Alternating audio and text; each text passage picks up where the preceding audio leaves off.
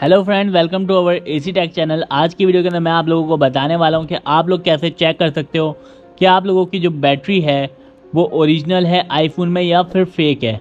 तो आइए वीडियो को शुरू करते हैं। सबसे पहले आप लोगों को आ जाना है अपने आईफोन की सेटिंग्स के अंदर और यहाँ पर आके आप लोगों को स्क्रॉल डाउन करना है।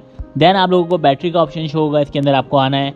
और बैटरी हेल्थ के अंदर आप लोगों को आ जाना है। यहाँ पे आपको अपनी बैटरी को चेक कर लेना है कितनी बैटरी हेल्थ है। देन आप लोगों को होम बटन प्रेस करना है और आप ऐप्स चलाइए और नोटिस करिए कि आपकी जो बैटरी टाइमिंग है वो कितनी देर में ख़त्म हो रही है। और आपका फ़ोन ज़्यादा हीट तो नहीं हो रहा। अगर ज़्यादा हीट हो रहा है तो इसका मतलब है कि आपकी जो बैटरी है वो लोकल है।